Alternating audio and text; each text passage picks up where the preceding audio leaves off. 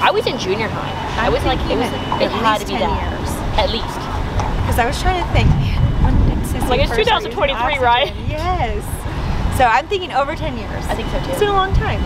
Favorite product? If you had to choose one, what would it be? It would definitely be Oxyform. That's my favorite product. I give it to my horses, each one of my horses before they run. That's a good choice, actually. So the Pullman is our liquid vitamin E. It's natural vitamin E, and we are we love it because you can dose however much you want. It's user friendly.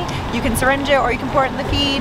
But I wasn't expecting you to say that. I thought you might say the hoof because you feed so much of the Oh yes, too. no, I, I, there's so many great products that I that I use on daily. Do you give the standard 30 cc's or what do you give? I give Scoop and my other horses uh, just a little bit more. It really just depends on.